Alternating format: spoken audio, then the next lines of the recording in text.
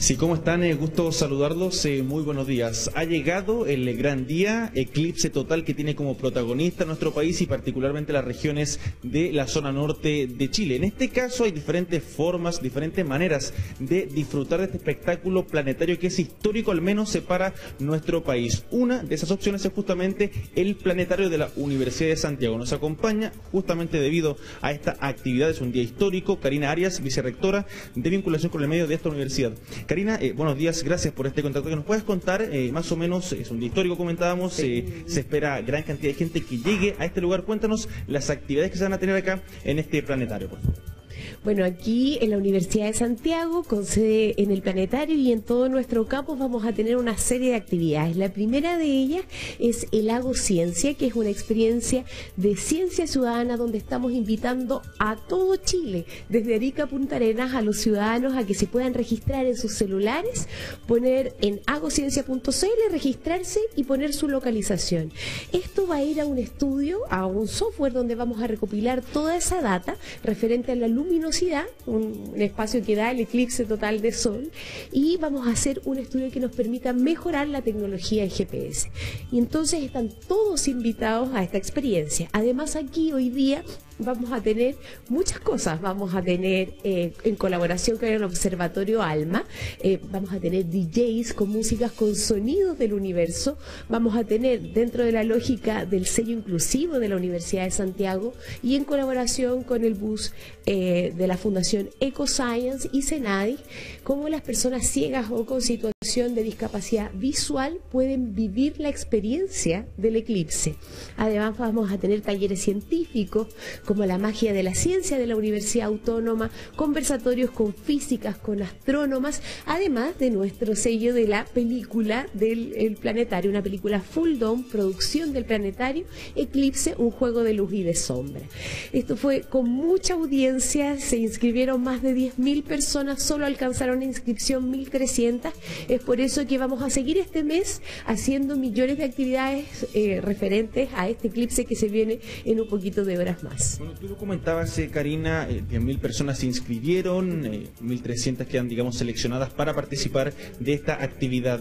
¿A qué se debe tanta convocatoria, crees tú, este como colapso virtual para poder participar, esta expectación que hay sobre este evento que es histórico para nuestro país y particularmente para la región de la zona norte de, Bueno, desde la Universidad de Santiago llevamos mucho tiempo buscando la democratización del acceso al conocimiento que se crea en los laboratorios y en el aula a toda la ciudadanía. Creemos que despertar la curiosidad de niños de niñas, de jóvenes, es muy importante para generar una cultura científica, que la ciencia nos sirva diariamente para resolver nuestros problemas, nuestros problemas diarios y además acercarnos a los fenómenos científicos.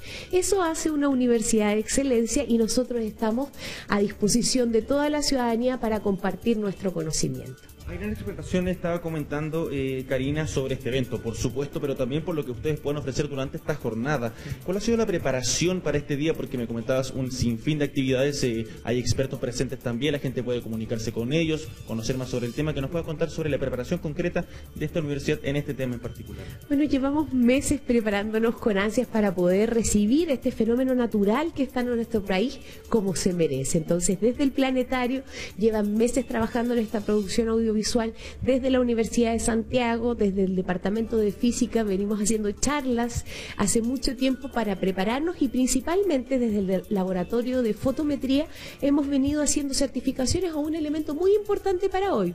Para los papás y para las mamás es muy importante buscar los lentes que estén certificados.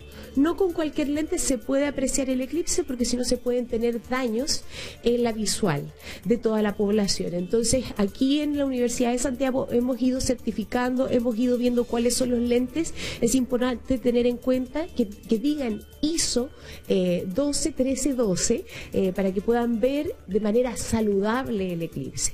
Y aquí es lo que nosotros queremos poner a disposición este tipo de laboratorios. Hemos venido trabajando en eso, en este espacio tan bonito como es el laboratorio, el icono, y trabajar con la democratización de la ciencia en una lógica de que la Universidad de Santiago logre la excelencia y esa excelencia excelencia la logramos con la ciudadanía. Karina, en lo concreto, ya para ir cerrando este contacto, eh, la gente, los 1.300 inscritos, llegan a las 2 de la tarde a este lugar. Después de eso, en ese momento, ¿con qué se encuentran? ¿Qué pueden hacer? ¿Es una actividad una tras otra? ¿Está todo disponible? La invitación que podemos hacer también a la gente.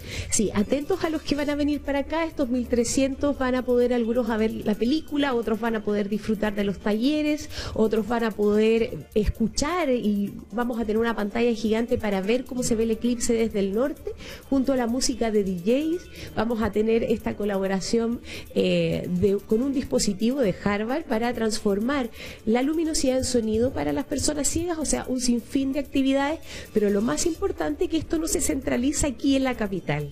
Nosotros estamos pensando para todos los ciudadanos del país y por eso reitero la invitación para inscribirse en agociencia.cl, porque así todos podemos participar y aportar, ser científicos por un día y aportar a mejorar la calidad de vida de nuestras tecnologías que impactan en nuestro propio bienestar. Muchas gracias, Karina. Muchas gracias a ustedes. Bueno, la invitación entonces está hecha para esta actividad 2 de la tarde acá, planetario de la Universidad de Santiago, una alternativa diferente, digamos, para vivir este día histórico acá en la región metropolitana, este eclipse total que se va a vivir en todo nuestro país.